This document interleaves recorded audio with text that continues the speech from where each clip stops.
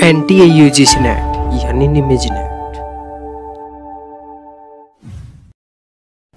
Subscribe कीजिए हमारे YouTube channel को और दबाइए बेल आइकन ताकि आप पास के हमारी आने वाली वीडियो बढ़े आसानी से। दोस्तों, सबसे पहले हमें ये पता होना चाहिए कि शिक्षण क्या होता है और अधिगम क्या होता है। लर्निंग एंड टीचिंग के अंदर क्या डिफरेंस है? और इस वीडियो में बिल्कुल आसानी से समझने की कोशिश करेंगे। ये देखिए दोस्तों, सबसे पहले हम बात करते हैं कि अधिगम क्या होता है। अधिगम को अगर इंग्लिश में हम कहें तो लर्निंग होता है दोस्तों। और अब बात आती है कि लर्निंग हम किस तरीके से कर सकते हैं। जैसे कि हमने पहले की वीडियो में भी आपको बताया था कि लर्निंग जो है हम वो किसी भी तरीके से सीख सकते हैं, किसी भी तरीके से कर सकते हैं। अब जैसे छोटा सा बच्चा है, छोटा सा बच्चा जो होता है, जैसे दो साल का बच्चा है, उसे हम स्कूल नहीं भेजते, लेकिन फिर भी वो सीखता है। इसी तरीके से हमारे बड़े बुज़ुर्ग होते हैं, वो सीखते हैं। वो कभी स्कूल नहीं गए हुए होते, लेकिन फिर भी उनको गुना, भाग, जोड़, घटा करनी आती है। यानी कि बेसिक चीज़ें उनको आती है। लेकिन वो कभी स्कूल तो नहीं गए लेकिन फिर भी उनको आ जाता है ये सारी चीज़ें करना, ठीक है? तो इसे हम क्या कहते हैं? अधिगम, यानी कि लर्निंग कहते हैं। लर्निंग जो है, वो कभी भी, कहीं भी, कैसे भी हो सकती है। अब देखिए थोड़ा सा इसमें पढ़ने की कोशिश करते हैं। यह एक व्यापक सतत जीवंत पर्यंत चलने वाली महत्वपूर्ण प्रक्रिया है, ठीक है? यानी कि ये कैसी प्रक्रिया ये पूरे जीवन जीवन भर चलने वाली एक एक्टिविटी है जो हम पूरे जीवन सीखते रहते हैं। मनुष्य जीवन मनुष्य जन्म के उपरांत ही सीखना प्रारंभ कर देता है और जीवन भर कुछ न कुछ सीखता रहता है। धीरे धीरे वह अपने वातावरण से समायोजित करने का प्रयत्न करता है। ये वही बात आ रही है दोस्तों, जब बच्चा जन्म लेता है, तब से लेकर जब मरता है, तब तक वो कुछ ना कुछ सीखता रहता है। और यहाँ पे आप इनके उदाहरण भी देख सकते हैं दोस्तों। सारी चीज़ें हमने दी हुई है। जैसे छोटा सा बच्चा है, एक दीपक होता है, दीपक की लो को पकड़ता है। उसे पता नहीं होता पहले कि इससे क्या होता है, लेकिन जब उसका हाथ जलता है तो वो सीख जाता भी इस लो को पकड़ने से, हाथ जल जाता है, आग को हाथ लगाने से दर्द होता है तो इस तरीके से वो सीखता है। अब हम बात करते हैं कि अधिगम की विशेषता क्या होती है। अब देखिए, अधिगम क्या है? सबसे पहले जो अधिगम है, ये जो क्वेश्चन में आता है कि अधिगम क्या है? लगातार चलने वाली प्रक्रिया है कंटिन्यूस चलने वाली प्रक्रिया है। अधिगम अनुकूल प्रक्रिया है। अधिगम के अंदर क्या होता है कि हम बड़ी आसानी से सीखते हैं, जो हमें अच्छा लगता है, वो हम आसानी से सीखते हैं। और अधिगम सार्वभौमिक प्रक्रिया यानी कि सार्वभौमिक का मतलब क्या है? दोस्तों, ये यूनिवर्सल है। यूनिवर्सल का मतलब हम कहीं भी सीख सकते हैं। ऐसा नहीं है कि हम इंडिया में रहेंगे, तभी सीखेंगे। नहीं, हम दुनिया के किसी भी कोने में चले जाएँ तो वहाँ पे हम सीख सकते हैं। अधिगम व्यवहार में परिवर्तन है। अधिगम मतलब कुछ भी हम सीखते तो हमारे व्यवहार में परिवर्तन आता चाहे वो फ़िज़िकल हो, चाहे वो मेंटली हो, कैसे भी हो, हमारे हमारे अंदर परिवर्तन आता है। अधिगम पुराने और नए अनुभवों का योग है। अब अधिगम क्या होता है? लर्निंग क्या होती है? जो हमने पुराना जो एक्सपीरियंस रहा है और जो नया जो एक्सपीरियंस रहा है, उन दोनों का योग होता है, उन दोनों का कम्बिनेशन होता है। अधिगम शिक्षण, अधिगम उद्देश्य को प्राप्त प्राप्त करने में सहायक है। अब देखिए, यहाँ पे एक छोटी सी चीज़ आपको समझने की ज़रूरत है। जो अधिगम जो होता है लर्निंग जो होती है, हम लर्निंग करते हैं, वो क्या है कि शिक्षण उद्देश्यों को प्राप्त करने में बहुत लाभदायक होती है। जैसे कि मान के चलो, हमें U G C NET qualify करना है तो अधिगम हम इसके लिए कहाँ कहाँ से कर रहे हैं? हम नोट्स से कर रहे हैं, हम यूट्यूब चैनल से कर रहे हैं, दोस्त से बात कर रहे हैं। तो जो लर्निंग जो है, अधिगम जो है, वो हमारा लक्ष्य प्राप्त करने में बहुत हेल्पफुल होता है। अधिगम विवेकपूर्ण है, ठीक है? और आगे हम देखते हैं कि शिक्षण और अधिगम का इसमें संबंध क्या है? अब देखिए, अब थोड़ी थोड़ी सी हम बात कर लेते हैं कि शिक्षण क्या होता है। जैसे कि मैंने आपको पहले भी बताया था कि शिक्षण क्या चीज़ है, शिक्षण और अधिगम में डिफरेंस क्या है, थोड़ा सा ये भी हम जानने की कोशिश करेंगे। कि सबसे पहले हम ये देखते हैं कि शिक्षण और अधिगम में संबंध क्या है। अब देखिए, शिक्षण क्या होता है? शिक्षण एक हम सिस्टमेटिक ढंग से कुछ सीखने की कोशिश करें तो उसे हम क्या कहते हैं? शिक्षण कहते हैं। जैसे कि हम क्लास के अंदर गए क्लास का टाइमिंग होता भी नौ बजे से लेकर दस बजे तक ये टीचर पढ़ाएगा, दस बजे के बाद ये टीचर पढ़ाएगा और आपको घर जाके ये काम करना इस तरीके से करना आपका इतने दिन बाद टेस्ट होगा। तो शिक्षण क्या होता है? इसके अंदर एक सिस्टमेटिक ढंग से हम पढ़ने की कोशिश करते हैं, कुछ सीखने की कोशिश करते हैं और अधिगम जो होता है, वो बिल्कुल फ्री होता है, हम कहीं भी कैसे भी सीख सकते हैं। दोस्तों, अगर आप चाहे तो बहुत अच्छे से स्टडी करने के लिए हमारा पेड कोर्स भी ज्वाइन कर सकते हैं। इसके अंदर हम आपको सभी टेन यूनिट के स्टडी नोट्स देते हैं थ्योरेटिकल वीडियोस देते हैं। इसके साथ साथ 2012 से लेकर दिसंबर 2019 तक ओल्ड ईयर क्वेश्चन पेपर देते हैं विद टॉपिक वाइज क्वेश्चन जैसे कि आज तक रिसर्च के क्वेश्चन आ चुके हैं, वो हमने अलग रखे हैं टीचिंग के क्वेश्चन अलग रखे हैं कम्युनिकेशन के अलग रखे हैं। इस तरीके से सभी टेन यूनिट के जो क्वेश्चन हैं, आपको अलग अलग किए हुए मिलेंगे।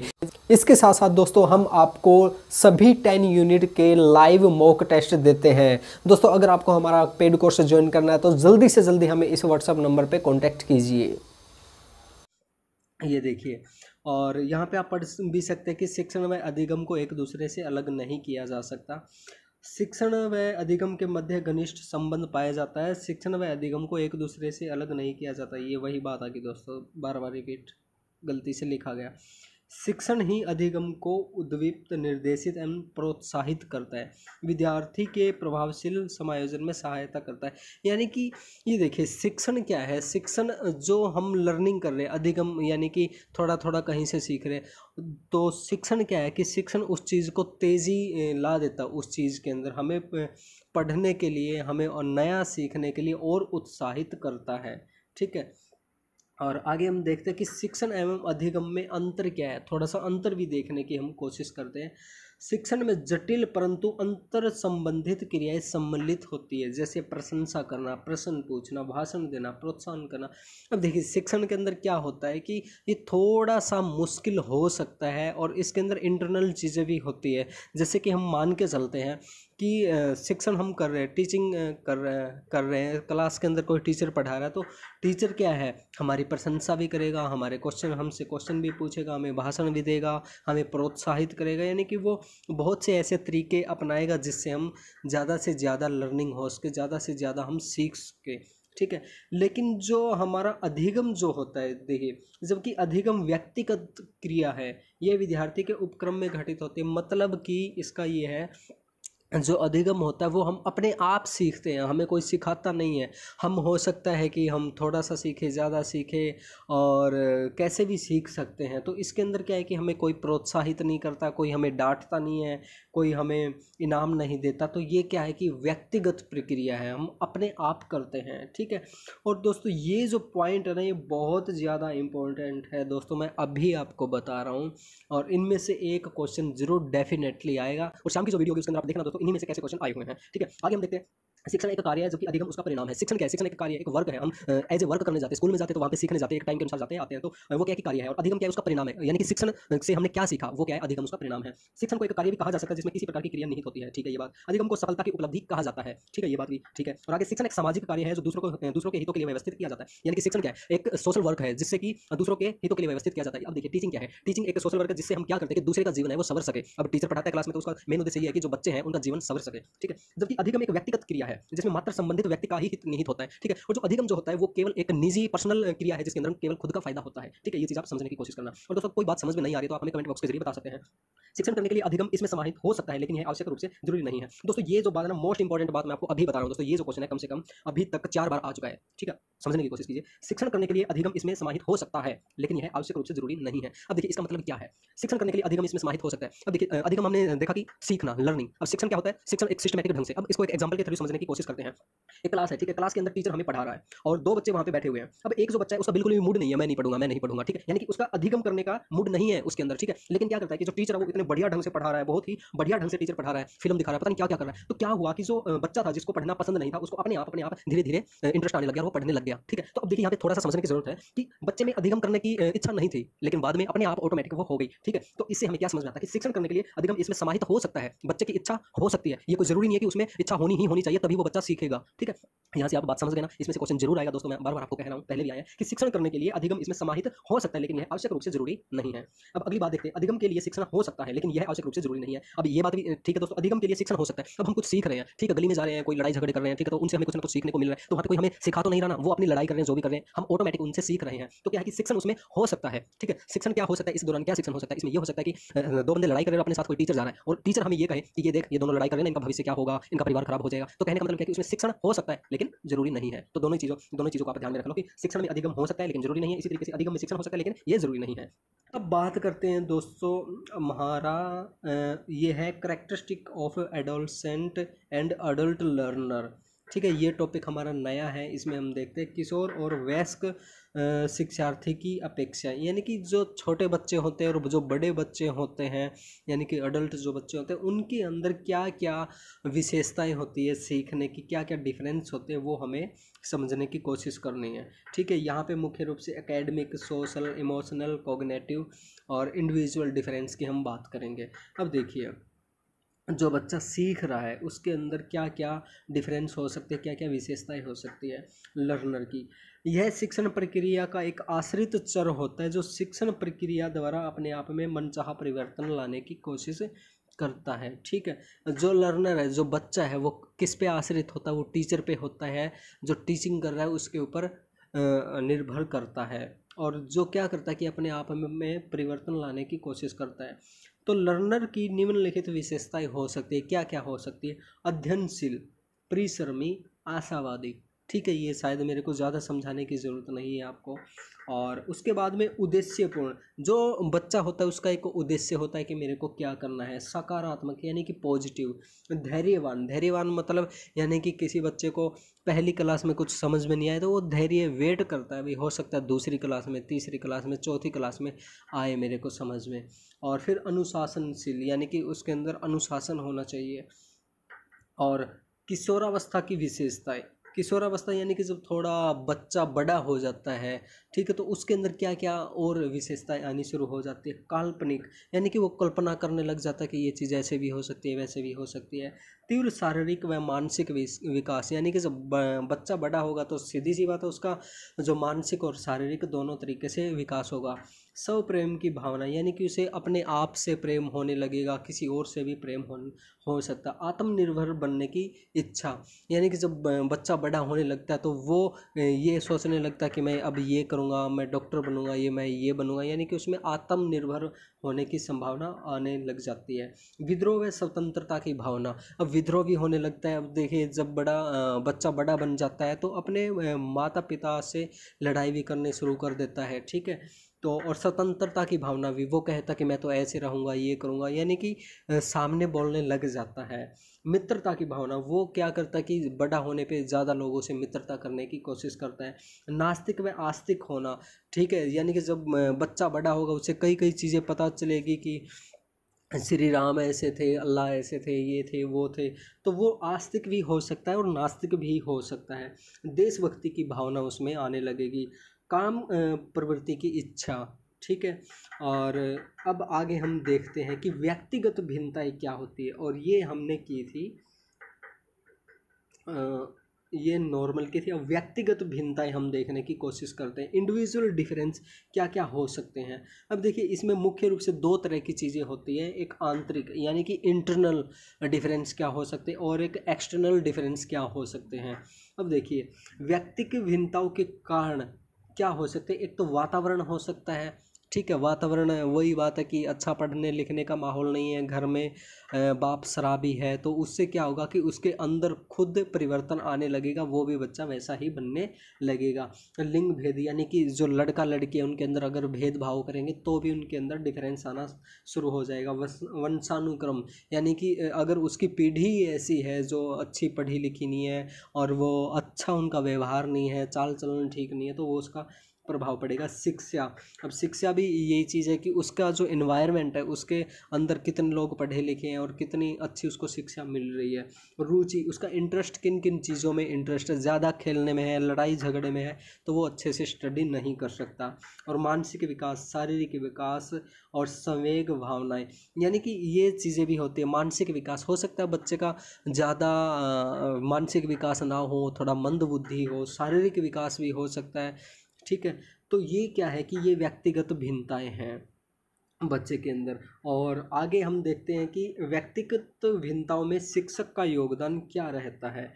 अब देखिए, इसमें से एक क्वेश्चन आ सकता है दोस्तों। कई बार इसमें से क्वेश्चन आया है कि, एक बच्चा मंदबुद्धि बच्चा क्लास के अंदर बैठा हुआ है तो आप क्या करोगे? आप उसे क्लास से भगा दोगे, आप उसे डांट लगाओगे, आप उसे अलग से समझाओगे? इस तरह के क्वेश्चन आते हैं, ठीक है?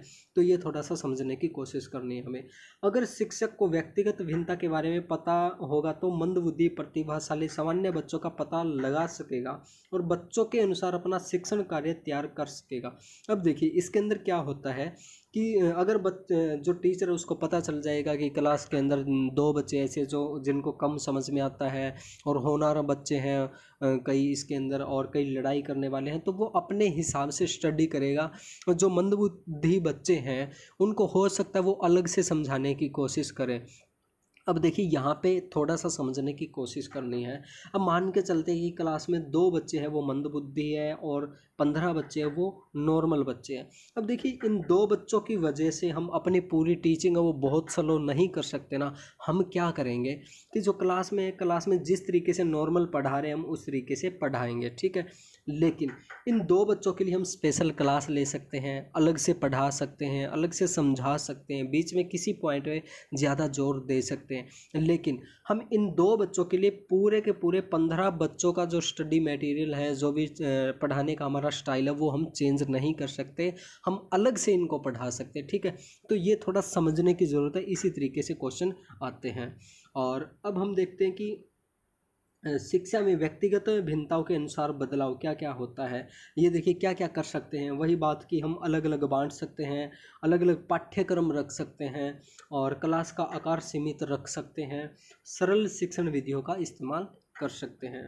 और आगे हम देखते हैं दोस्तों, ये जो क्लास हमारी थोड़ी सी बड़ी हो सकती है, आप पूरा देखना। शिक्षण प्रभावक तत्व, यानी कि जो फैक्टर इफेक्टिंग टीचिंग क्या क्या होते हैं टीचिंग को क्या क्या फैक्टर इफ़ेक्ट कर सकते हैं। अब देखिए, इसमें क्या क्या इफ़ेक्ट कर सकते हैं? एक तो शिक्षक की विशेषता, जो टीचर है, उसमें क्या विशेषताएँ हैं वो? विषय संबंधी ज्ञान, स्पष्ट उद्देश्यवादी, सकारात्मक अभिवृत्ति, विद्यार्थियों को प्रोत्साहित करना, यानी कि जो टीचर क्लास में विद्यार्थियों को प्रोत्साहित करेगा, उसका रिज़ल्ट बहुत अच्छा आएगा। विविधता तथा सचेतता का समावेश, ये पता नहीं क्या है। विषय का मूलभूत व्यवहार यानी कि उसके बारे में जानकारी होना और कार्य के प्रति समर्पित, यानी कि कोई टीचर है वो किस शिद्दत से अपने बच्चों को पढ़ा रहा है। अब सरकारी स्कूलों में हम देखते हैं कि वहाँ पे अच्छे से स्टडी नहीं होते, वो क्या है क्या है कि समर्पित नहीं होते अपने काम के प्रति, ठीक है? तो यहाँ पे हमने काफ़ी तरह की बातें लिखी हुई है, ये सारी की सारी बातें आप पढ़ लेना और इन्हीं में से एक क्वेश्चन आएगा दोस्तों छोटी छोटी चीज़ों में से, ठीक है? और आगे हम देखते हैं कि शिक्षण सहायक सामग्री हमारी कौन कौन सी होती है? शिक्षण सहायक सामग्री मुख्य रूप से तीन चीज़ों में डिवाइड की जाती है। दृश्य सामग्री, यानी कि जिसको हम देख सकते हैं। सर्वे सामग्री जिनको हम सुन सकते हैं। दृश्य एवं सर्वे सर्वे सामग्री यानी कि जिनको हम देख और सुन सकते हैं। अब देखिए, दृश्य सामग्री के अंदर क्या होता है कि देखने वाले में फ़िल्म हम देख सकते हैं, स्ट्रिप देख सकते हैं, प्रोजेक्टर देख सकते हैं और मानचित्र या मानचित्र भी देख सकते हैं। श्यामपट यानी कि जो हमारा ब्लैक बोर्ड वगैरह होता है, उसको हम कहते हैं, ठीक है? देखने में कोई भी चीज़ें आ सकती हैं, ठीक है? वो मूवी भी आ सकती हैं और एक दीवार पर लिखा हुआ कुछ है, वो भी आ सकता है। ठीक है? और सर्वे सामग्री जिससे हम सुन सकते हैं, वो क्या होगा? जैसे रेडियो होगा, टेप रिकॉर्डर हो गया, और फ़ोन पे भी आजकल जैसे हम फ़ोन पे बातें करते हैं ये क्वेश्चन कैसे आएगा? तो वो भी हो सकता है। और ऑडियो विजुअल सामग्री क्या होती है? उन्हें हम, जो देख भी सकते हैं और सुन भी सकते हैं। अब देखिए, टीवी है, कंप्यूटर है, वीडियो है, और आप जो हमारी वीडियो देख रहे हैं तो ये ऑडियो विजुअल के अंदर आती है। ठीक है? और ये हमने यहाँ पे इंग्लिश में लिखा हुआ है, आप इंग्लिश में भी पढ़ सकते हैं। और सॉफ्टवेयर, अगर classification of teaching aid on the basis of technology के ऊपर अगर हम बात करें तो उसके अंदर आएगा, एक सॉफ्टवेयर की बात आएगी, जैसे ग्राफ हो गया बुक हो गया, यानी कि बुक कौन सी? पीडीएफ जो बुक होगी ई बुक जिसे हम कहते हैं चार्ट कहते हैं, और मॉडल वगैरह है, और हार्डवेयर के अंदर जैसे प्रोजेक्टर आ गया टीवी आ गया, रेडियो आ गया, ठीक है। और यहाँ पे हमने काफ़ी तरह की चीज़ें दी हुई है, ये सारी की सारी चीज़ें आप दोस्तों पढ़ सकते हैं, बिल्कुल आसान है और इन्हीं में से काफ़ी बार क्वेश्चन आते हैं। डिस्प्ले मेथड अब देखिए डिस्प्ले मेथड में मेथड में क्या क्या हो सकती है? जैसे ब्लैक बोर्ड हो गया फ़िल्म बोर्ड फ़ैन फैनल बोर्ड हो गया। तो ये सारी चीज़ें दोस्तों आप एक बार पढ़ लेना और आपको कोई भी चीज़ समझ में नहीं आती है तो आप हमें कमेंट बॉक्स के ज़रिए पूछ सकते हैं। दोस्तों, आज के लिए बस इतना ही। अगर आपको हमारी वीडियो अच्छी लगी तो इस वीडियो को लाइक कीजिए, शेयर कीजिए, कमेंट कीजिए। और दोस्तों, अगर आपने अभी तक हमारा चैनल सब्सक्राइब नहीं किया तो प्लीज़ हमारे चैनल को सब्सक्राइब कीजिए और घंटे का बटन ज़रूर दबाइए ताकि आप हमारी आने वाली वीडियोज़ को आसानी से देख सकें। थैंक यू दोस्तों।